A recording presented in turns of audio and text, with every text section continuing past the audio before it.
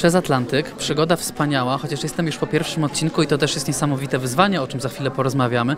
Ja się tylko tak zastanawiałem, co sobie pomyślałaś, jak otrzymałaś telefon z tą propozycją i ile trzeba było poczekać, żebyś przyjęła? Natychmiast powiedziałam tak, dlatego że koncepcja przepłynięcia oceanu po prostu, nie wiem, jakiś wewnętrzny przybysz powiedział tak. Mój ojciec y, żegluje i to jakoś gdzieś po prostu we mnie jest.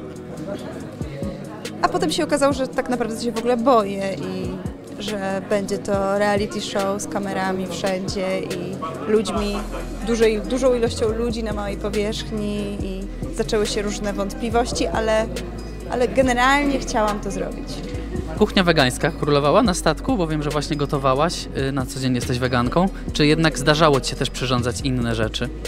Nie, to znaczy zdarzało mi się masło, gdzieś y, z Zygmuntem robiliśmy chyba grzanki, tam było trochę masła i z raz mi się zdarzyło też to, że, że Zygmunt y, do... zrobiliśmy quesadille, które mogły być wegańskie i mieć tylko soczewicę, ale wiem, że tam było trochę sera.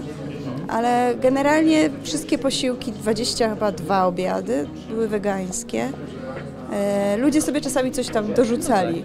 Do makaronu właśnie jakiś ser, ale generalnie to było wszystko wegańskie. No i były chyba z tego co chyba trzy ryby zostały złowione w trakcie całego tego rejsu.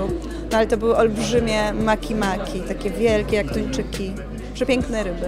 Właśnie jedną chyba nawet widzieliśmy w zwiastunie. Do tego zwiastuna została wybrana twoja emocjonalna reakcja związana e, z tą rybą, dlatego też się pytam o te emocje, czy po prostu byłaś gotowa na to, że no, to jest telewizja i, i takimi prawami się rządzi, ale przecież to są ludzkie odruchy, że współczujemy choćby zwierzętom.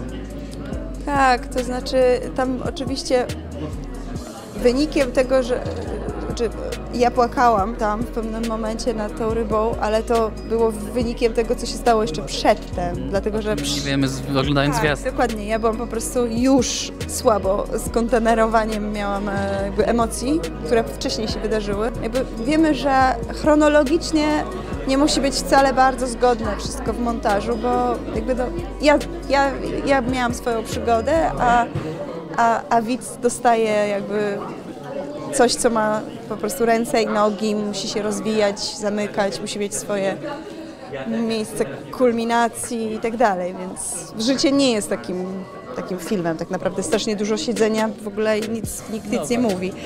Ja obejrzałam pierwszy odcinek i byłam w szoku, że, że to po prostu wygląda cały czas jak trailer, a, a na tej łódce to jednak to był rejs, no. Po prostu siedzę, patrzę w prawo, patrzę w lewo, nic się nie dzieje, o, Zygmunt, o, wyszedł, jakby nic się nie dzieje, tak, tak dużo mniej się działo. Zwróciłem właśnie uwagę e, w rozmowach pierwszych po obejrzeniu odcinka, że bardzo dynamiczny montaż, bardzo mi się podoba, ale faktycznie chyba życie tak tam nie wyglądało.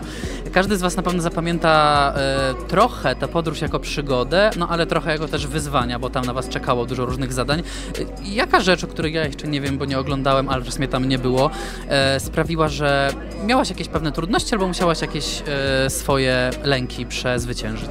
No, w ogóle sam fakt oceanu, który jest duży.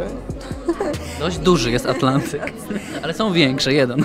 Tak, na szczęście ten drugi w kolejności robiliśmy, ale no duży to po prostu jest i to jest takie żywe i to się tak rusza i to może nas po prostu zjeść.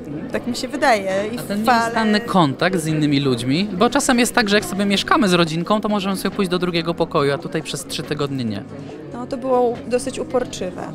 Ostatnio dowiedziałam się, że jestem e, wysoko wrażliwą osobą, bo że, po prostu męczy mnie bardzo i tak jeszcze bardziej zamyka w środku, jak ktoś bardzo głośno i bardzo blisko mówi. I tam większość osób bardzo głośno mówiła i byliśmy bardzo blisko siebie, więc jakby no nie miałam jakby do końca gdzie się podziać, żeby tak trochę odetchnąć. I no, miałam takie momenty, że tak chciałabym na chwilę wysiąść. Gdy wróciłaś do domu, to jakoś udało się nadrobić ten czas taki, żeby był dla siebie, żeby to po swojemu prowadzić kolejne dni? Tak, aczkolwiek też e, e, do, dobiliśmy, jakby do, do, wróciliśmy do Polski w takim bardzo szarym, zimnym momencie. Tak grudnia? Koniec listopada? Początek grudnia, tak. I, e, przeżyłam szok odstawienia po prostu niebieskiego koloru. I wtedy pojawiła się kawa. I myślę, że gdyby nie kawa, to bym cały czas teraz jeszcze siedziała i płakała, że nie ma niebieskiego. To na te kolory zapraszamy w takim razie do oglądania przez Atlantyk w każdą środę.